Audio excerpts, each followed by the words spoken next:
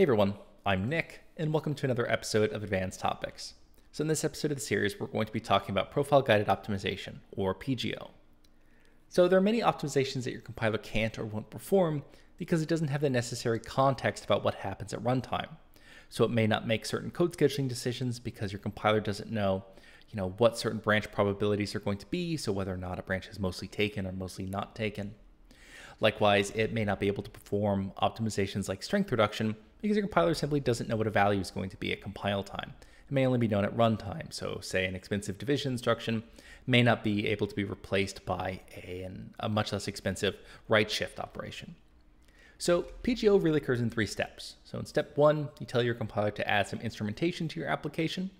So you basically tell your compiler to add some extra code to collect information about, say, you know, which branches are taken or not taken most frequently, and what values are being generated. So we can do that in GCC with dash F profile generate. So it's used for adding some instrumentation to our application for profiling. In step two, we actually run our application. At the very end, it dumps out all of this information into a file. Then in step three, we can just feed this file back to our compiler as some feedback so the compiler can do a better job the next time it compiles this application. Now with the context about you know how this code looks or you know what code is actually executing at runtime. So let's look at a quick example here to show off PGO. It'll be this mod bench. So we have two benchmarks that are doing modulo on 4096 numbers here. So one of them will use an idiv instruction because we've hidden the value we're doing modulo by through some indirection as an argument, and another benchmark here that has the number as an immediate here. So this will pretty easily get the strength reduction optimization. The expensive idiv uh, instruction will be replaced by some shifts and multiplies and uh, subtracts. So something that's much less expensive to do. So before we do uh, PGO, let's just see what happens. We don't give the compiler uh, any information about what happens at, say, uh, at runtime. So you can see here, we're, we're compiling with O3 optimizations, march mtune equals native, link time optimization. Uh, the only thing we've disabled really is uh, vectorization. And this is just because the division benchmark won't be vectorized. So we'll just try to make the comparison slightly uh, more fair by just doing a single element at a time in both benchmarks. So let's go ahead and say look at the assembly here. And we can do that with just perf record and run our benchmark. So as far as performance goes, we can see that SR mod is about eight times faster than base mod here. And this is going to be because of the strength reduction optimization. So if we do perf report, we can see that in base mod, all we're really doing is each iteration of the loop computing one modulo using an idiv instruction here, which is taking about 96% of our time. Then we can see an SR mod over here, so with strength reduction, we now have many more instructions here that are much cheaper. So multiplications, shifts, subtracts, multiplication, more subtraction. Basically avoiding that very expensive idiv instruction with much cheaper um, arithmetic.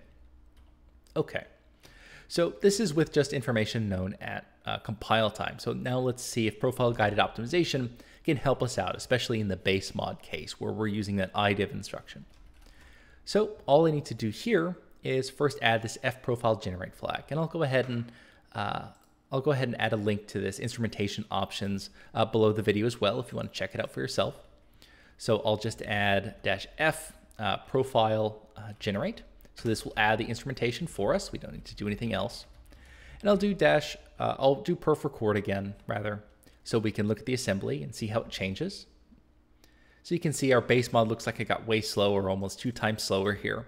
But that's just because we're doing some extra instrumentation now. We have some extra code inside of our benchmark.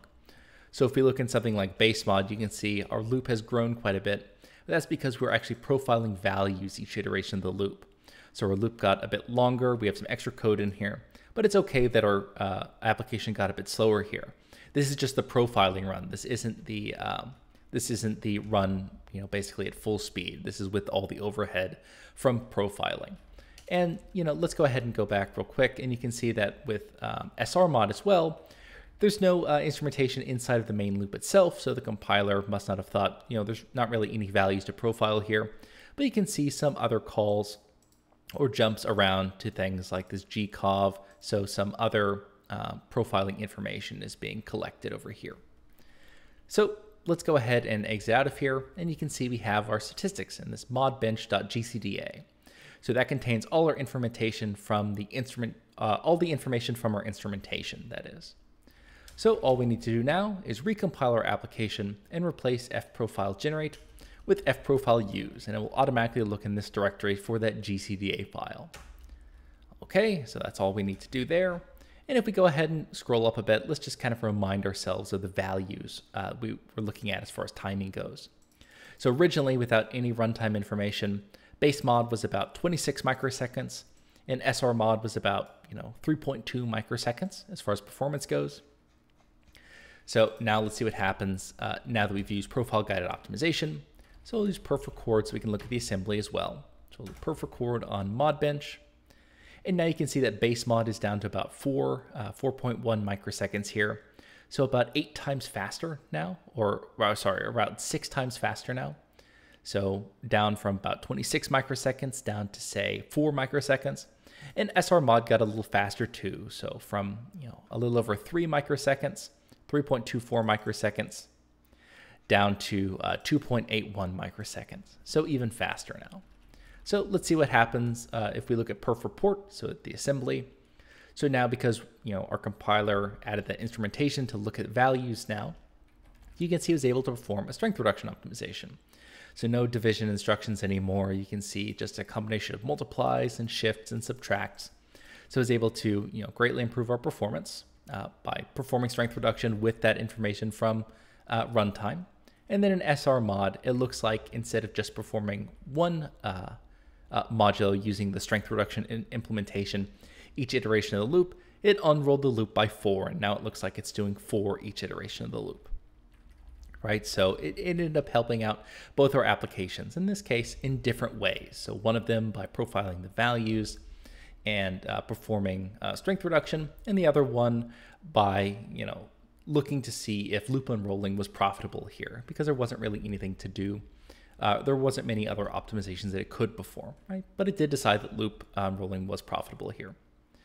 So this is a basic introduction to profile guided optimization, just a simple way of uh, moving some of the burden of optimization away from the programmer back to the compiler by giving your compiler some context about what's going on at runtime. So as always, you can check out any of this code at my GitHub page at github.com slash coffeebeforearch. As always, feel free to reach out if you have any questions and also, as always, I'm Nick, and I hope you have a nice day.